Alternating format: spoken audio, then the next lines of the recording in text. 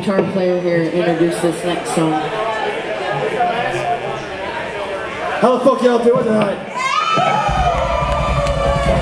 Hey! Let's give it another shout out to Jeff Hanneman. If it weren't for him, none of us would be here. If it weren't for Slayer, we would not be metalheads.